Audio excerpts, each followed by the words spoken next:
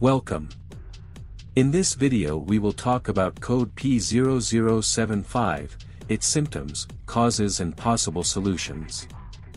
The P0075 trouble code indicates a problem within the intake valve control solenoid circuit of bank 1. This code typically points to issues with the control solenoid responsible for managing the intake valve, affecting the engine's performance. Code symptoms P0075 1. Decreased engine performance.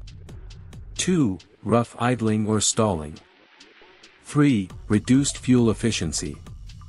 Causes of the code P0075 1. Faulty intake valve control solenoid.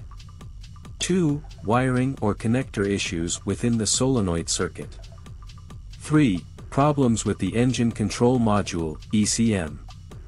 Code Solutions P0075 1. Inspect and replace the intake valve control solenoid if it is faulty. 2. Check and repair any damaged wiring or connectors in the solenoid circuit. 3. If ECM issues are suspected, consult a qualified technician for diagnosis and potential reprogramming or replacement. Thank you for watching this video, don't forget to leave a like and a comment, see you next time.